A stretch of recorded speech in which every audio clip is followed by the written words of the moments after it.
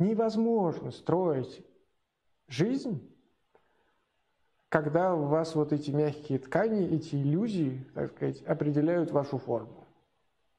Вы не сможете опереться на это, потому что в любой момент что-то будет происходить, и эти иллюзии вас подведут. Избавляться от иллюзий больно, тяжело, вот. И, но придется. Реальность все равно нас почистит со своими этими горелками. Поэтому лучше сделать это самим.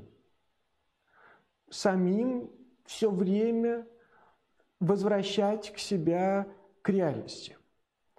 Реальность значительно краше, чем иллюзия.